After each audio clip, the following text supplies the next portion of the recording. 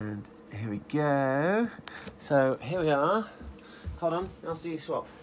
Hello, Humphrey. Hi, Dad. How are you? Good. Haven't seen you for a while.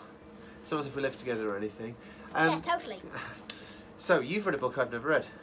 Yep. What is it? Doctor Who Made of Steel. And uh, and what's it about? Who's, which doctor is it? Tenth? Yeah. Do you know who this is? Martha. Martha Jones. Have you ever met Martha Jones before? Mm, Okay. So what's it about? want to. You never want to. You're not taken with Martha. Well, I just don't like the Doctor. Don't like Tenth Doctor. Nope. prefer Really? Fourth and eleventh. Okay. All right. So tell us about Made of Steel. What do you like about Made of Steel?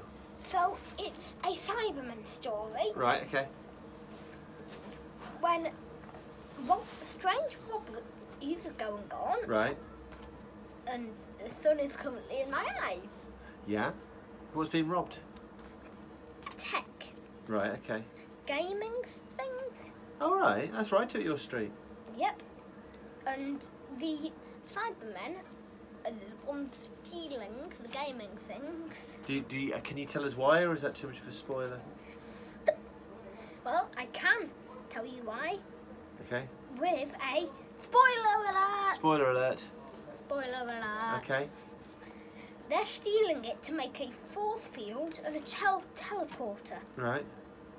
And they're doing those to not only do more leave, but Yeah. to try and capture the Doctor. To capture the Doctor. Yep. Oh dear. Okay. Um, it's by Terrence Dicks. Do you know anything about Terrence Dicks? He's the one who writes The Invisible Enemy, isn't he? Uh, he probably wrote the book, yeah. But um, the key thing about Terrence Dicks, from my perspective, is I've probably read more Terrence Dicks books than I've read any other author on this planet. Uh, because he uh, wrote all, an awful lot of the Doctor Who books. He also script edited for Doctor Who and wrote a loads of really good stories, uh, the Doctor Yeah. Who stories. So tell us your opinion of this. Is it a good book? You, you were a bit unsure about Martha Jones. What, uh, have you enjoyed it? Is no, it- it's not Martha Jones. I told you it's David Tennant. Okay, so did you enjoy the story though? Yes, Really good or just good? really good. Oh, fantastic. really good. Really, really, really good. What was so good about it?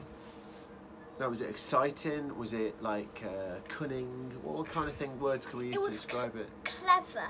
Right. But I didn't properly understand it the first time I read it. All right. Have you flicked through it again then? No. Oh, okay. What what aspect? When I read it, I didn't quite understand it. Yeah. Because it linked to other Doctor Who stories. Oh, because you asked me about them being in the void and this, that, and the other, Yeah. didn't you? And I had to explain about what happens at the end of um, uh, Doomsday, I think it's called. So, um, all right. So, do you have anything else to say about this rather marvellous book that you've read? In one morning, by the way, there was no bribery involved here, apart from this. Um, anything else you gotta, gotta say about it's it? a quick read. It is a quick read, yeah. They're literally called quick reads, aren't they? Yep. Yeah, cool. And it's really good. I would suggest reading it, but we should have probably said that earlier, so they wouldn't have the whole thing spoiled for them already. Oh, I'm sure nobody will mind. I might read it now if you've read it. That sounds cool. It's Called Made of Steel. Made of Steel. So we're checking now. It's Cybermen. Cyberman. Anything There else? are only eight Cybermen in it. Oh, okay.